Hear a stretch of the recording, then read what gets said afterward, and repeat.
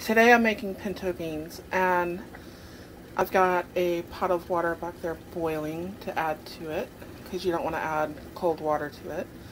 I've put two pounds of pinto beans in here, two large white onions chopped up, not too fine, you want them kind of chunky. I've got 12 ounces of salt pork, that's just the size that it comes in, and two cloves of garlic that I smashed up and put in there. And we're going to boil this until basically the outside of the bean, the little shell thing, uh, starts to crack, and then we're going to add some spices to it.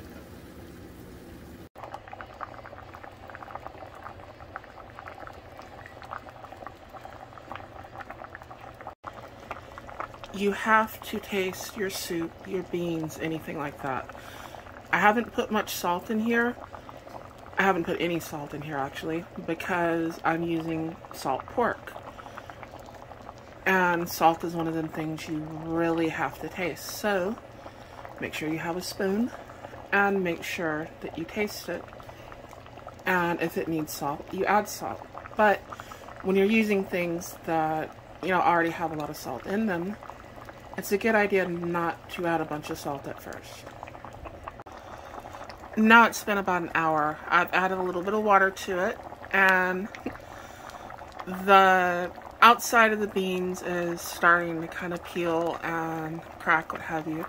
So now I'm going to add my seasoning. And I didn't want to use, you know, generic pinto bean seasoning, so I made my own, which is two tablespoons of chili pepper, two tablespoons of paprika, and you can use smoked paprika if you want. I was going to use white pepper, but I think my son has my white pepper, so best substitute for that is black pepper. So I've got two tablespoons of black pepper and one tablespoon of cumin. And I mix that all up. It's all in here. And now I'm going to add it to it and I'm gonna stir this and we're gonna cook it a while longer. Okay, now I'm gonna put these on the back burner for a while. I'm gonna cover them up. They're not gonna need to cook too much longer, but I'm gonna make some fried cornbread. And you do want to keep stirring these and make sure you scrape the bottom because they will burn on you, especially after you put the spices in there. And just keep an eye on them. Okay, now I'm frying cornbread. And I'm starting off with a little one here, just kind of to show how to do it.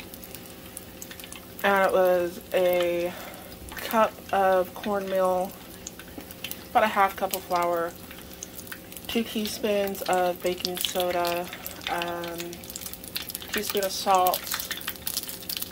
I used uh, two packets of, uh, what is that? artificial sweetener, that Splenda, whatever it is, instead of sugar. And an egg, and three quarter cup of milk. And we're going to fry these up in a pan. I also chopped up a small onion and I mixed that in there with it. When you take these out of the pan, you're going to want to butter these pretty good and have you like a plate with some paper towels, something like that to stick them on because they're going to be greasy. This isn't exactly health food and put your butter on them and they are awesome. Okay, I'm frying up the last little guy here. You don't want your heat too high, kind of medium high. The beans are done and pardon my mess. I've got a plate of beans over here and I've got the cornbread. If you want to see what the cornbread looks like all nice and fried up, there it is. I think that's kind of somewhere between a hush puppy and a hoe cake, but they work. And thank you for watching. I appreciate it. And I will post the recipe in the comments. I also have a Patreon. And please like, share, and subscribe. And thank you for watching.